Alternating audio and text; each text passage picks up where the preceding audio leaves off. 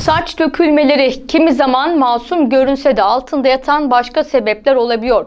Bunu söyleyense bir uzman. Büyük Anadolu Hastaneleri Dermatoloji ve Kozmetik Uzmanı Doktor Serra Hande Öcal, saç dökülmelerinin sebebinin kişiye özel araştırılması gerektiğini söyledi. Büyük Anadolu Hastaneleri Dermatoloji ve Kozmetik Uzmanı uzman doktor Serra Hande Öcal, kadın erkek demeden insanların bazı dönemlerde sıkça şikayetçi olduğu saç dökülmelerinde tedavi süreçlerinin iyi takip edilmesi gerektiğini söyledi. Mevsim geçişlerinde stresli olduğumuz dönemlerde ya da farklı sebeplerden ötürü saçlarımızın dökülmesinin olağan olduğunu söyleyen Öcal, saç dökülmesi bazı hastalıkların habercisi olacağını da unutmamak gerekiyor.